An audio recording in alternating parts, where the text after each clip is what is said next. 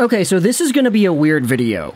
The reason we're making this is because earlier yesterday, we had Sam Cosentino share the latest Sportsnet draft rankings for the top 32 prospects in the 2022 draft. Now, we're going to be doing a few things here. Yes, I want to look at the list. I want to see who is ordered where, and I think it would be fun to go out there and just talk about that here.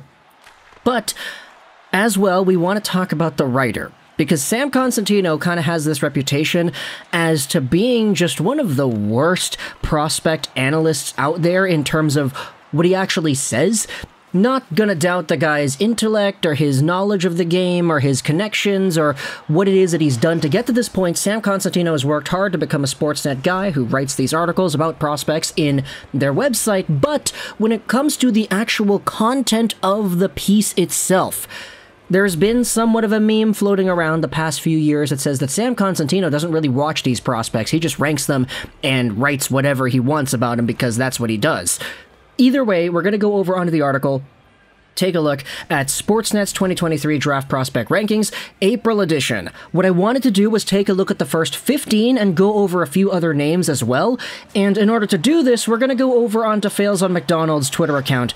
He is a host on the Roxy Fever podcast here in Vancouver, pretty local Vancouver guy who usually has a good amount of fun with these Sam Constantino lists. The reason I say that is because Fails on McDonald normally takes screenshots of these Sam Cosentino scouting reports, posts them on Twitter, and writes about how they're inadequate as scouting reports. Don't believe me? Here we go. Welcome to a deluxe edition of That's Not a Scouting Report with Sam Cosentino. Sorry this took so long, but this one was special. Six entries have too many spaces. At least one name is spelt wrong. Most of the sentences written by Cosentino don't make any sense. Anyways, here's a roster update. The first overall pick on Sam Cosentino's list is Connor Bedard, whose scouting report reads this With nothing left to prove at the junior level, a men's world roster spot remains possible. Now, this is kind of what I mean. Is that really a scouting report? If I knew nothing about Connor Bedard, which admittedly it's kind of hard to do that these days, and I read this as my first exposure to the guy, imagine I'm just a random hockey fan who hasn't picked up a magazine or hasn't seen any prospect stuff this entire year, and I go onto sportsnet.ca and I look at this article as my first piece of information on these prospects. I see Connor Bedard with nothing left to prove at the junior level, a men's world roster spot remains available. What does that mean? What does that tell you about the prospect? It doesn't tell you anything. It doesn't tell you about how he plays, how his potential is, how good he is, what he's good at, anything like that. It just says, oh, he's got a chance at being at the Men's World Championships.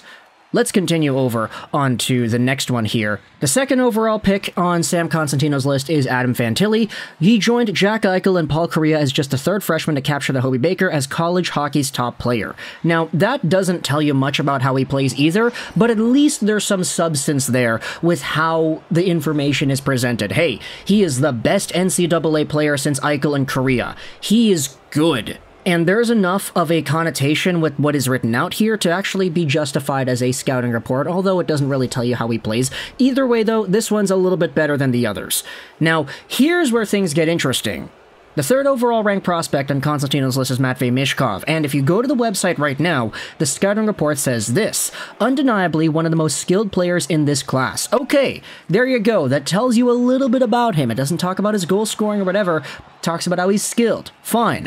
But this actually wasn't the original text in this article. You see, at the very beginning when this was posted, this is what the original text said instead. What impact will the unfortunate and tragic passing of his father have on the player moving forward? And there's a reason Constantino changed this. Firstly, big tragedy in Russia. Matvei Michkov's father was found in a pond, passed away. It was very unfortunate to see. This was just a few weeks ago, but how in the world does this get greenlit? Like, the social media reaction was so strong as to this being Matvei Michkov's scouting report that there's no wonder why it was changed to talking about how he's a skilled player. Are you kidding me? What kind of scouting report is this? What impact will the unfortunate and tragic passing of his father have on the player? This is what Fails on McDonald said. This one has rightfully gotten a lot of attention, but I like how we just changed it to something nondescript and hoped no one would notice. Either way, his dad died is definitely a new level of that's not a scouting report. Let's move on to number four on the Constantino list. Leo Carlsson. He has backed up a successful regular season by doing historic things for a player his age in the SHL playoffs. Now, the criticism here by Fails on McDonald says SHL forward Leo Carlsson, what does he do? Does he do things? Let's find out.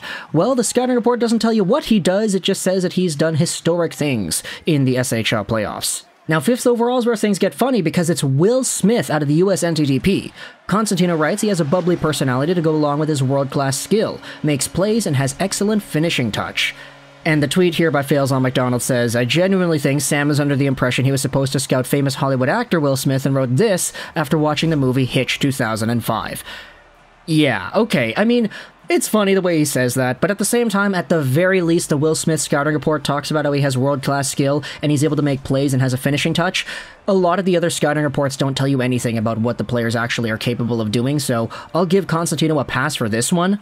Sixth overall, Zach Benson. On a team full of rock stars, first round picks, and other NHL interests, he's the best of the lot on many nights. Now, that doesn't really talk about his two way play, how skilled he is, and how many points he was able to get, but it just says that he's on a really good team and he's the best, so I guess that's all right.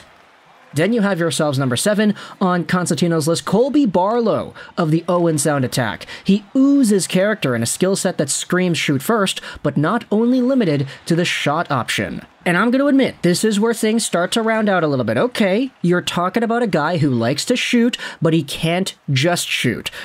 That's at the very least better than some of the others here. It gets a little bit better too. The next one, Ryan Leonard from the NTDP, a rugged player with a motor that doesn't quit. He competes as hard as he shoots it, and is one of the elite shooters available this year. Now, that's a weird way to phrase it, competes as hard as he shoots it, but I get what he's saying. Motor, doesn't quit, great shot, one of the best shooters, top 10 prospect. I'll let that one slide. Then you have yourselves David Reinbacher, ninth overall. There's a short gap to the next best defenseman, so there'll be a number of suitors inside of 10 that should be willing to make a jump. Now, that doesn't really tell you much about Reinbacher, but it does kind of illustrate the lack of defensive depth at the top of this draft, so I get what he's trying to say here. Okay, we'll give it a pass. The next one is interesting, though. Samuel Honzek out of the Giants. He projects as an impact player who uses his size effectively to give him more space than needed to utilize his skill.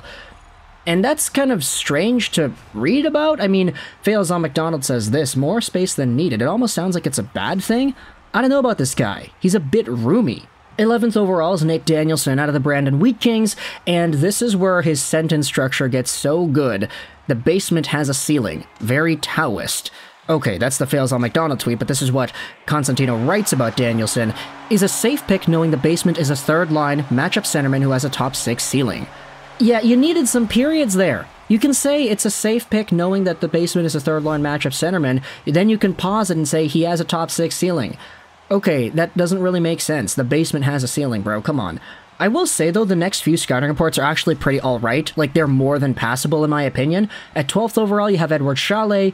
Inconsistency and play and effort have given many scouts a pause on this player. Having said that, he reads the play well, finds quiet ice, and knows where to go to create offense. Okay, that tells you what the player is good at, and what concerns are there as well. I think that's a good scouting report. Axel Sandin Pellikka, number 13, is next up. A wonderful skater who possesses high end puck skills. He can break pucks out in a variety of ways and is a threat in the offensive zone. There you go, another one of these scouting reports that actually tells you about how the player plays. Next up, Oliver Moore, NTDP. The University of Minnesota commit has elite speed based on a strong, powerful stride, beats opponents wide, and then uses quick hands to elevate the puck in tight. There you go, that's three in a row where Constantino writes actual traits about the players and analyzes what they're capable of.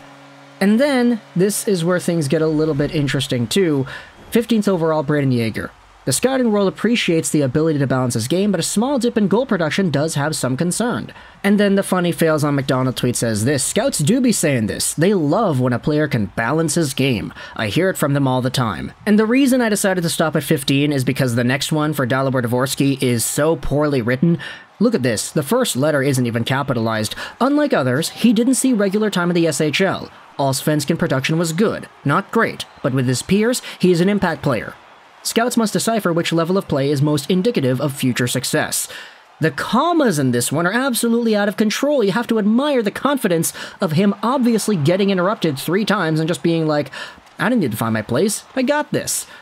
Okay, we're out of time. We're at the 10 minute mark. I'm going to leave. Let's talk about prospects a little bit more as Why I Want continues on. This weekend, we're going to be talking about some more guys in the draft. But for now, Sam Constantino's top 32 is available in the description via the link. You can go ahead and click it and read it if you want. But I mean, the quality of some of these scouting reports is not the best.